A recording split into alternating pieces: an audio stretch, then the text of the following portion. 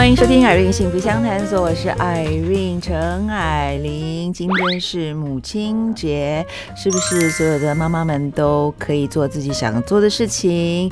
然后呢，可以很开心的度过，不要只有母亲节，好不好？我觉得好惨了。如果说只有母亲节，然后做妈妈才能够做自己想要做的事情，那那真的是有点辛苦了。不过我想这一天是让孩子们，让身边的人能够更肯定一下妈妈，了解一下妈妈的辛苦，然后让妈妈可以诶有理由正大光明的偷懒一下，或者是买自己喜欢的东西。我觉得这个是一个非常开心的事情，就是做自己想做的，然后。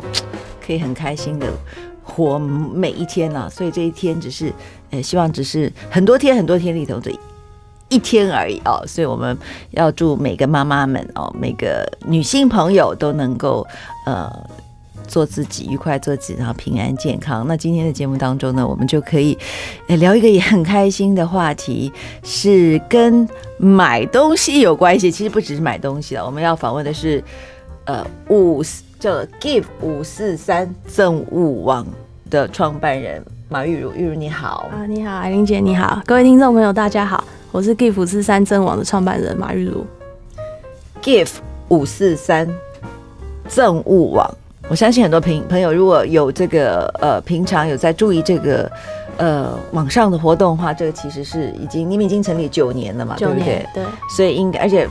这个流量蛮大的，听说还因此挂了很多次的网，对不对？挂了超过三年了，对，断断续续这三年加起来，加起来。啊，加起来三年吗？是。那你成立九年，的每三天挂一天吗？平均是这样的。可是还是非常受欢迎。我们要知道为什么这个赠物网它的意义何在？为什么会这么受欢迎？然后有听众朋友、观众朋友，如果想要去参加这种赠物网的各种活动，有这个进去的，有接受的，有给予的，有呃。接收的，那我想都是一个很好的平台。那所以今天等一下可以来慢慢的了解。可是呢，我一定要先问一下玉茹，她好年轻哦。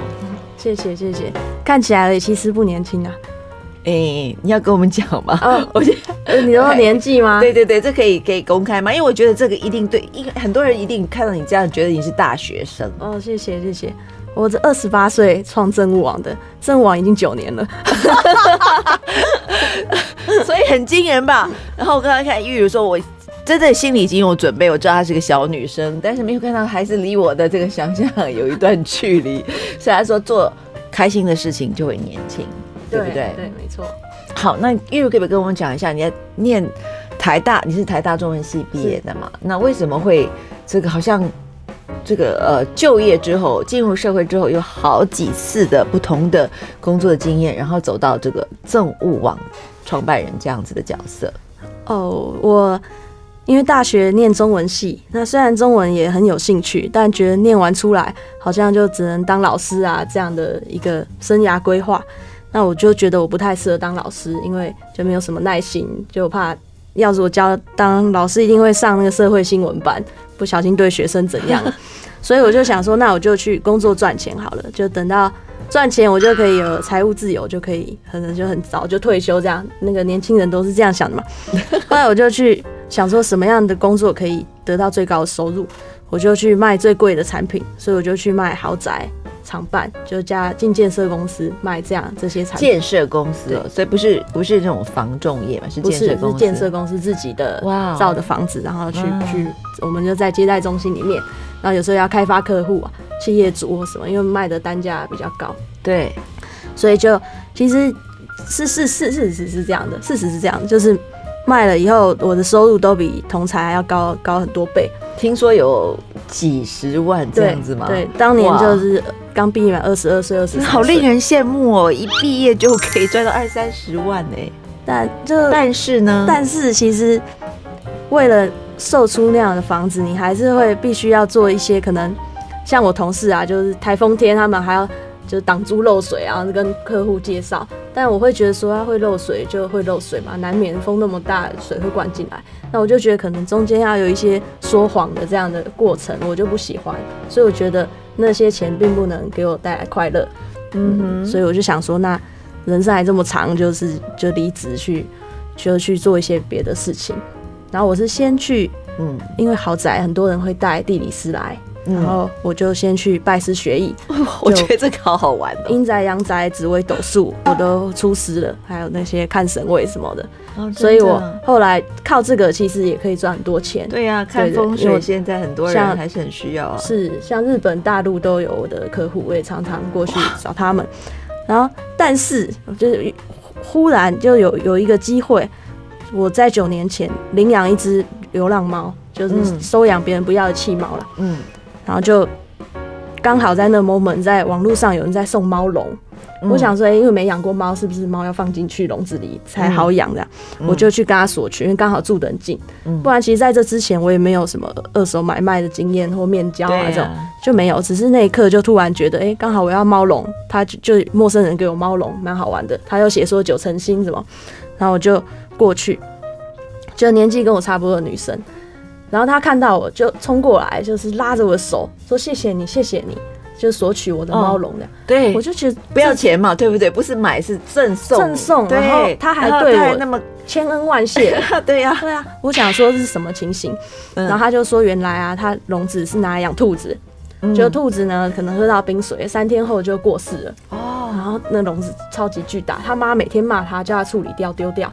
可是嗯想说我们我们人不太可能就是这样马上处理丢掉一个好端端的东西，所以他就很痛苦。然后刚好我我需要我索取走，他是就是觉得他的良心没有不安，然后物品又交给我，对，嗯，然后我就看超新的，然后去后来因为买了，因为有了猫咪，我就去动物，就是那些卖卖饲料的地方，对，然后结果竟然同样的一排只要七千两百块，哇，哈哈哈哈哈！所以等于我省了七千两百块，是。然后我少买一个笼子，等于地球不用再生产那个笼子了，对，然后它也没有丢掉那个笼子，它的笼子也没有去掩埋或焚化，嗯这样的过程就是很好的一个交流。对各取所需，然后真的是物品就叫物尽其力啊，地尽其力，物尽其用嘛。哦，是是，所以我就觉得，哎、这样的体会真好，哎，那所以嗯可能同时我在丢掉的东西有别人需要，对，或是同时别人觉得很烦恼，不知如何处置的闲置物品，我也需要，那我就上网找有没有这样的平台。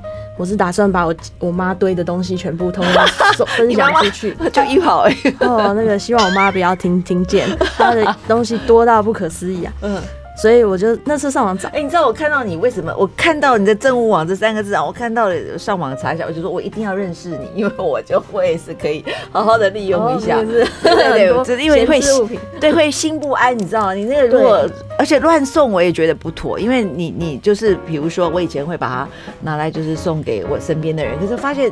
就算是衣服好了，有些人你你觉得很棒了，有些人不见得会喜欢或适合，没错，然后反而会增增加他的困扰，你知道，他觉得很头痛。那后来我就当然就我就义卖了。可是我觉得有些东西不能义卖的，或者是真的是很难去找到适当的人。嗯，谢谢。就义义卖其实也也 OK，、嗯，只是这种就是分享的感觉是蛮可以对可以可以体会看看。就你你现在成立了政务网之后，你还是有把妈妈的东西拿来，偶尔会偷偷送一点啊。对对对对对，他他也他也 OK，因为嗯，后来我有跟他讲，然后他只是就可能他那个年代物资比较缺乏，就是养成这种累囤积的那种。对对，很多人都有这样的，不是？对，起起柜子里起码有 五十只碗没有在用啊，因为碗嗯不会打破了才会换啊，所以就觉得这种东西堆起来其实也是蛮忧郁的，就我觉得嗯就是大家会觉得很痛很困扰。你要说断舍离，我觉得，哎、这是要功夫去练习的。是，因为我们不太可能说收到一个礼物哈，一个花瓶，嗯我没有用，我就把它打碎丢掉，不可能、啊、这不太可能做这种事。那一定是把把它收起来。对，我昨天才收到一个很可爱的，人家送给我的一个礼物哦，一个铁盒子，啊里头放了一个手帕。